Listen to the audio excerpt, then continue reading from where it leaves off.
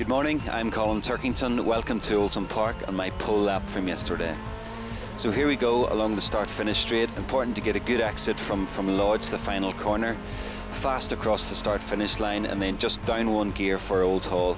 It's quite bumpy under brakes, so you're really just throwing the car in, attacking the corner, but trying to get a clean exit down into Cascades, my favourite part of the track. Again, another bump under braking, just down one gear, trying to get the car into the apex. It's an understeery corner and fighting it the whole way out to the exit.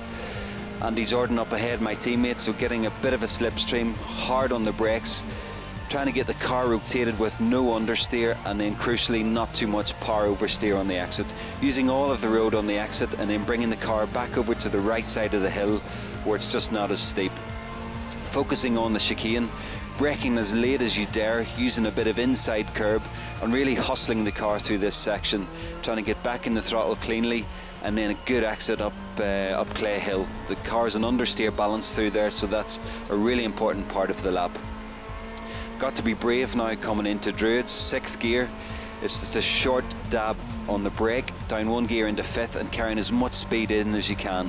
Again, fighting the rear axle through there, but crucially good exit speed. Just one corner to go now, trying to not bite off too much, but braking really late, down to third, then bleeding off the brakes, using as much of the inside curb as you can, and then really focusing on maximising that traction out of Lodge. Getting a bit of a slipstream again off Andy, and that's enough for pole, a 128.5.84. Great lap by me yesterday. Hopefully I can do another 15 of those today.